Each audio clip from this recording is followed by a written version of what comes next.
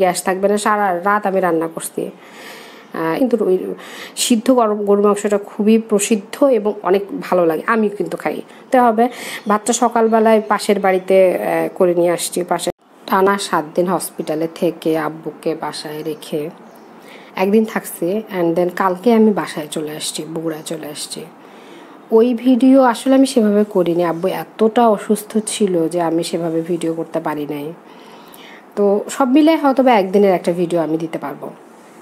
আর এখানে আমি আসছি গতকাল রাতে আর সকালবেলা উঠে গ্যাস নেই।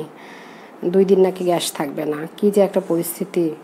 যা হোক তো আদার্স খাবার না হয় কোনোভাবে ম্যানেজ করতেছি, কিন্তু আমার চা তো গরম গরম লাগবেই। তো চা বানাচ্ছি আর আমি নিজের হাতে চা ছাড়া আমার ভালো লাগে না, কেন জানি বাইরের চা খাব।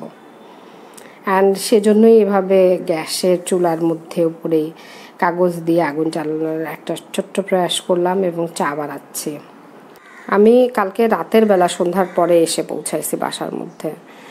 তো এসে আমার আর শুনছি আমি, আসার পরে শুনছি যে গ্যাস থাকবে না। এর আগেও একবার ঈদের মধ্যে এরকম হলো গত রোজার ঈদের, আগের রোজার ঈদের মেবি এরকম হয়েছে যে আমি শুনলাম যে গ্যাস থাকবে না, সারা রাত আমি রান্না করছি। ঈদের রাতে সারা রাত রান্না করছি। মানে ঈদের দিন শেষে রাতে।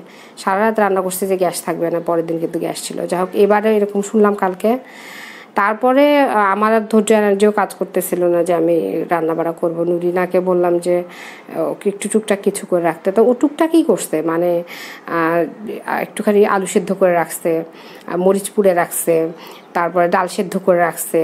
হ্যাঁ আর আমি বলছিলাম যে আমি বলছিলাম যে একটুখানি ইয়ে করতে, গরুর মাংস বের করে জাস্ট লবণ, হলুদ দিয়ে সিদ্ধ করতে। আমাদের এই রংপুর অঞ্চলে কিন্তু ওই সিদ্ধ গরম, গরুর মাংসটা খুবই প্রসিদ্ধ এবং অনেক ভালো লাগে। আমি কিন্তু খাই।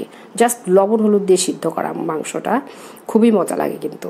তো ওইটা করে রাখছে যেন ওই লাউয়ের তরকারি একটুখানি করছে। তো ওইগুলা দিয়ে এই দুইটা একটা করে পিস মাংস বের করব, এই দুদিন চলবো। আর ভাতটা যেহেতু করতে হবে, ভাতটা সকালবেলায় পাশের বাড়িতে করে নিয়ে আসছি। পাশের বাড়িতে ওদের গ্যাসও আছে এবং চুলাও আছে, মাটির চুলাও আছে। তো দুইটা দিয়ে ইউজ করে, দুইটাই ওরা ইউজ করে। ওখান থেকে সকালবেলা ভাতটা করে নিয়ে আসছে। একদম রাত পর্যন্ত চলবে মোটামুটি। বলা যায় ভাতটাকে একদম ইয়ে করে পাতিল থেকে ঢেলে আমি রেখে দিছি, যেন বাতাস পায়। ভাতটা তাড়াতাড়ি নষ্ট না হয়।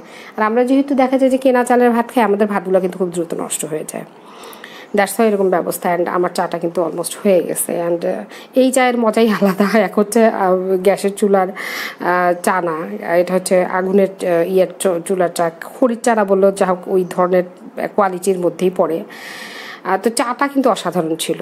স্পেশালভাবে বানানো, খুব কষ্ট করে বানানো, অনেক ইফোর্ট দিয়ে বানানো একটা চা আমার। হ্যাঁ? সব মিলে চাটা অনেক বেশি মজার ছিল। আর আমি আসলে প্রত্যেকটা কাজে কেমন যেন একটু কনফিউজ থাকি। দেখেন প্রত্যেকটা কাজে আমি দুইবার দুইবার করি খেয়াল করলে আপনারা বুঝতে পারবেন। আমি চামচ দিয়ে চাটা নাড়ছি দুইবার, চা চা পাতা দেই দুইবার, তিনবার, আর দেন আমি যে কোনো কাজটা মনে হয় কি হচ্ছে না, আরেকবার করে দেওয়া দরকার। দ্যাটস ওয়াই আমার দেখা যায় যে প্রত্যেকটা কাজ রিভিউ করা লাগে।